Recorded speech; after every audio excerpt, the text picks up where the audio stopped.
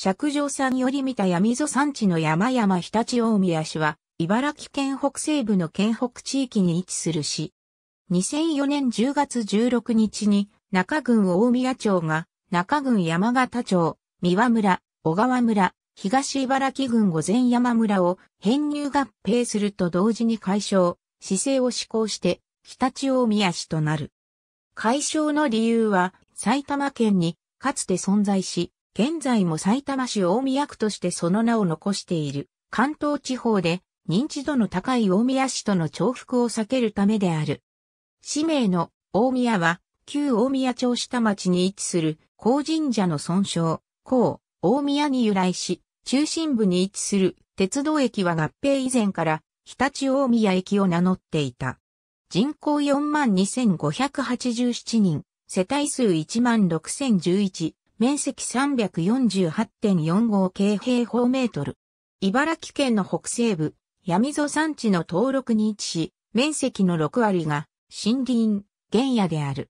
市の東部奥地川が北から南へ流れ、これに沿って国道118号 JR 水郡線が整備されている。市南東部に市街地が位置し、特に国道118号の中を大宮バイパスは市のメインストリートとして多くの商業施設が立ち並んでいる。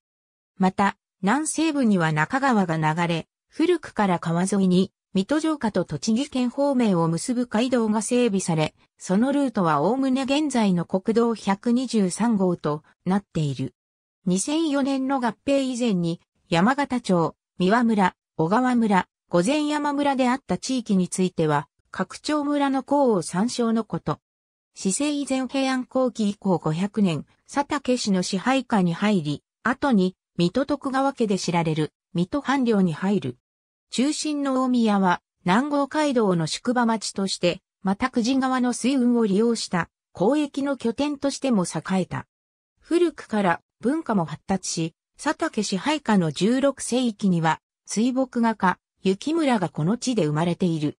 市政以後初代市長の矢和博士は1988年4月23日から2004年まで大宮町長を務めた。主な政策は以下の通り。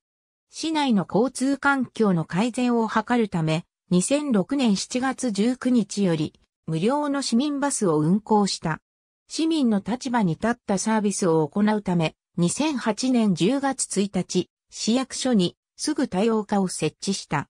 定数18人、第一次産業が中心である。比較的規模の大きな商業店舗は、市の南東部の国道118号バイパス沿いに集中している。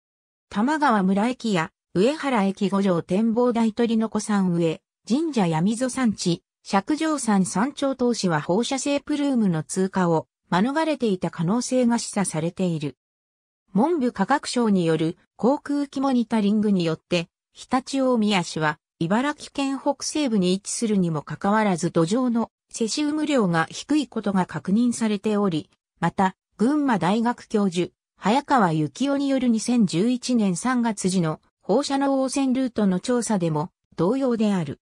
これは一説には茨城県西部に局地的に発生した高気圧によるものと言われている。ありがとうございます。